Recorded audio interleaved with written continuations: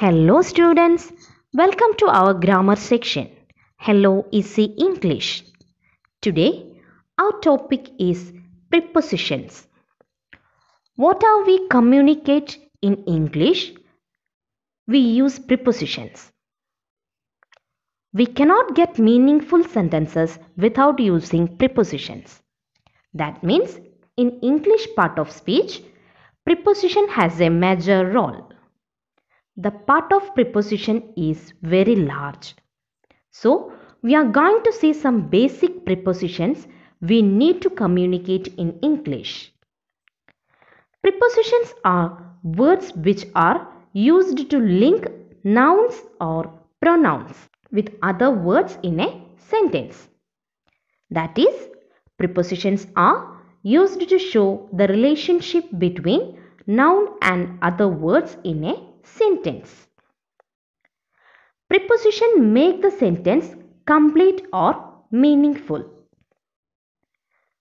You will understand it with a simple example. Consider the sentence The cat is sitting under the table. Here, the word under shows the relationship between cat and the table. We know that cat is a noun. If we do not use the preposition under in that sentence, what will happen? The sentence will become the cat is sitting the table. This sentence doesn't give any link between the cat and its sitting place.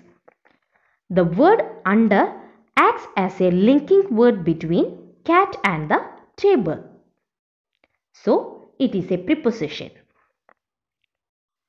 Now, we can check the types of prepositions. Basically, there are three types of prepositions based on their situations. The situations are first one, preposition of time, which means when or what time a thing is happened. Secondly, preposition of place, where or which place a thing is happened.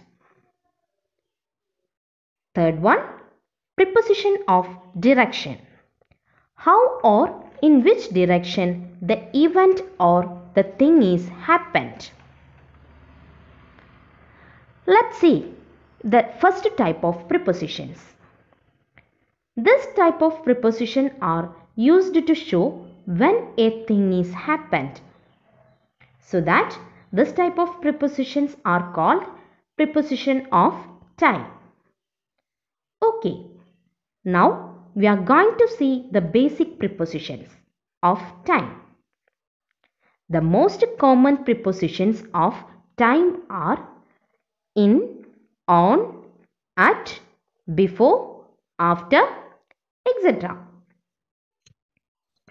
Now check the prepositions of place. Prepositions that shows where or which place a thing is happened is called preposition of place.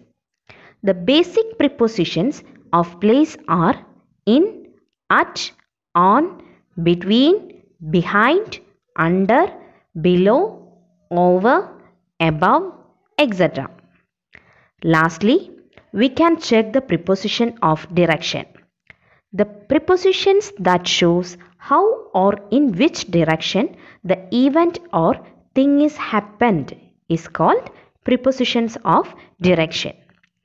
The basic prepositions of direction are across, along, around, through, towards, upon, down, etc.